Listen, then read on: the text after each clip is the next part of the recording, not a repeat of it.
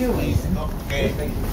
'Cause I know this guy's facts, you know what I'm saying? Like, you know, you know, you just, like, you know, you just, I was like, okay, I know this guy.